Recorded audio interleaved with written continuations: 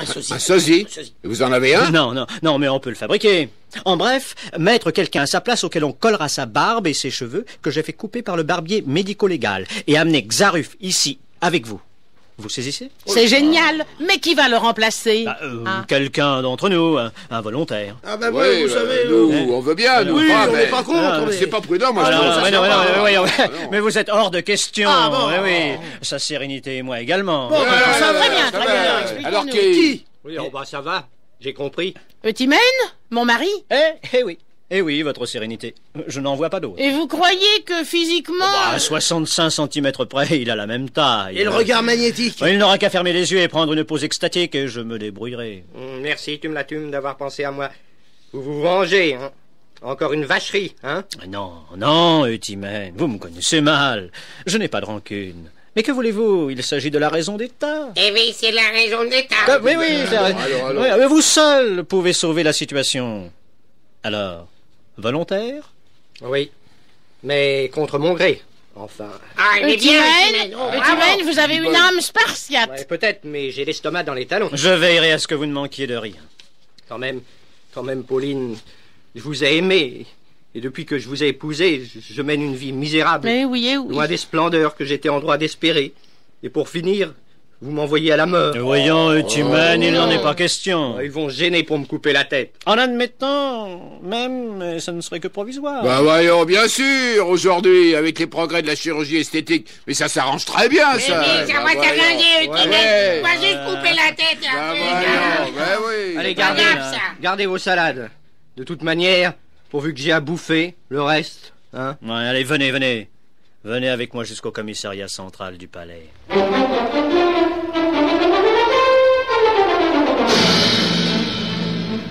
Sar Xarif, voici celui qui accepte de prendre votre place. Provisoirement, bien sûr. Dans les cachots des babus. Vite Donnez-lui votre barbe. Voilà. Tenez. Tenez, voilà, voilà du, du sparadrap pour la faire tenir. Ça y est Bon, allez, vite, vite, vite. Un gardien peut arriver. Bon, vous êtes marrant, ouais. Ça colle au doigt, et puis, puis la barbe a au moins 1m50. Alors tant mieux, mais vous serez, vous serez méconnaissable. Bon, vous avez changé de vêtements, parfait. Allez, Xaruf, suivez-moi. Il vaut mieux que vous ne traîniez pas ici. N'oubliez pas ce que vous m'avez promis, tu me la tumes. Parce que je... Ah oui, oui, oui, oui. oui. Alors, alors partons vite, Xaruf. Un instant. Quoi? Je dis un instant. Monsieur, Oui? vous vous appelez Eutimène, je crois. Euh, Vous me connaissez? Bon, je connais bien des gens, mais peu d'entre eux auraient fait le geste que vous faites en ce moment. Oh, vous savez, moi... Qu'importe vos mobiles, je n'oublierai pas votre élégance, monsieur Eutimène, ni que je vous dois la liberté. Et j'espère avoir un jour l'occasion de m'en souvenir. Signé Xaruf.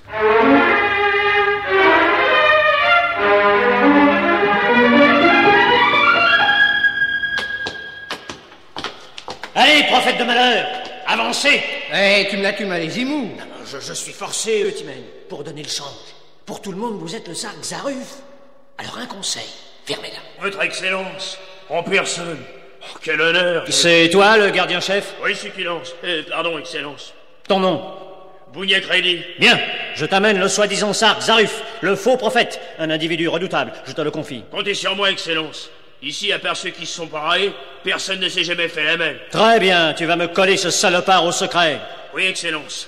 J'ai là une cellule sans fenêtre, bien humide. C'est pas ce qu'il faut. Je veux une cellule spacieuse, bien aérée, ensoleillée et orientée dans le sens de la marche du temps.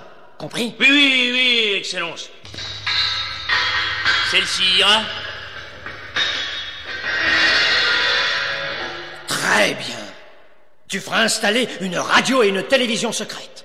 Un lit Henri II, un buffet Henri III et une table de Pythagore. Bien, Excellence. Allez, entre, canaille Excellence, vos ordres seront exécutés à l'âge. Eh, Qu'est-ce que tu dis? Eh, la lettre, Excellence. Ah.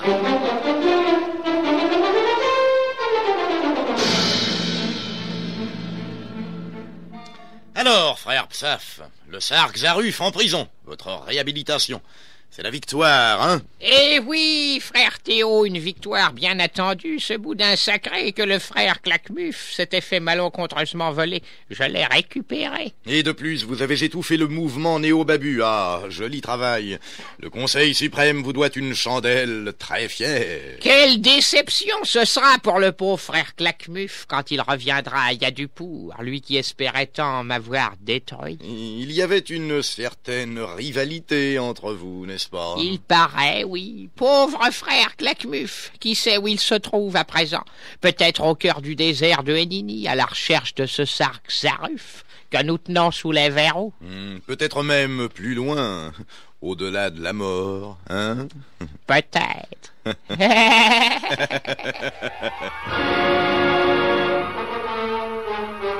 Eh bien non. L'horrible Claquemuf n'était pas mort, comme le pensaient l'ignoble Psaf et le traître Théo. Il était si peu mort que ce jour-là, aux portes de Yadupour... Ognache Oui, monsieur Claquemuf. Ouais, les frères Maclouf? Là, patron. Il achète de la salade pour son escargot. J'arrive, j'arrive, me voilà. Stupide Maclouf Pardon?